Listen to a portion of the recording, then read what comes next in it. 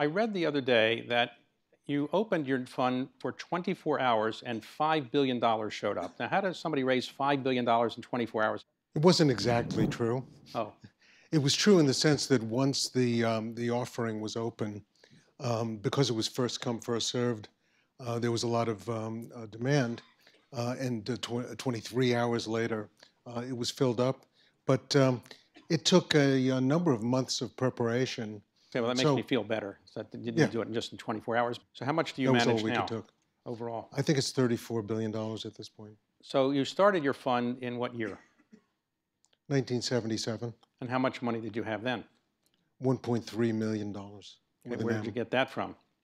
It was friends and family. Um, I was a, uh, a practicing lawyer, and uh, in uh, early 1977, I decided that um, um, what I had been doing, managing a small amount of, a tiny amount of friends and family money, was much more interesting than practicing law. You grew up in Teaneck, New Jersey and Manhattan, and you went to University of Rochester and then Harvard Law School. Right. It was a wonderful experience, but it was a um, it was a daunting experience, especially because I didn't exactly like what I was um, what I was doing.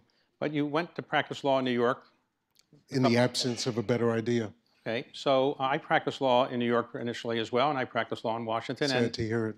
so when I gave up the practice of law to go into business, my mother said, you know, you went to law school. What are you going to do? You don't know anything about business. What did your mother say when you said, I'm going to give up the practice of law? She said, you know, what? Can you earn a living? So you started and you, you worked out of your apartment and you had a million and a half dollars from friends and family. So what was the strategy that you used to get off the ground? Tiny bit of context. Um, my dad was a retail pharmacist, and uh, uh, uh, after I started attending law school, he said, "Well, you have to learn how to be an investor." And he and I traded um, um, uh, tiny amounts of of tech stocks and mining stocks together. Right. Two thousand dollars of this and five thousand dollars of this.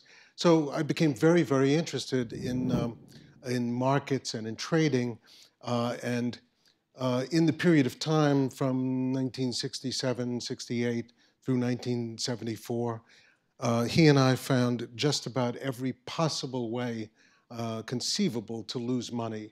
And so when I started Elliott in 1977, I was determined to engage in um, a trading strategy that made money all the time. And so for the first uh, 10 years or so of Elliott's existence, um, the primary strategy was convertible bond hedging. Buy the bond, short the stock. It had a, uh strong positive uh, carry, some trading profits.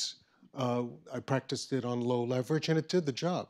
The job meaning a consistent return, making money more or less all the time. When did you realize that you were really better than the average guy getting these kind of, uh, uh, doing these kind of things?